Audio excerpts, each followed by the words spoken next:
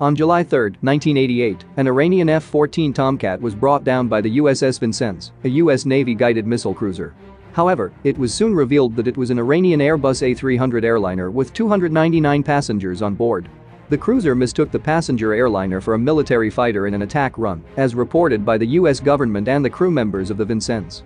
However, you must keep in mind that the aircraft's flight plan was logged by the cruiser's Aegis combat system at the time of the event as rising, rather than falling as in an attack run. Following the 1987 USS Stark incident, all nearby aircraft were required to listen to an international air distress radio frequency. Ten warning attempts were made in total, but no reply was received. The crew of the ship then started the procedure to engage Flight 655 when it continued traveling toward Vincennes. The USS Vincennes fired two SM-2MR surface-to-air missiles at the aircraft at 10.24 am while it was at a distance of 10 nautical miles.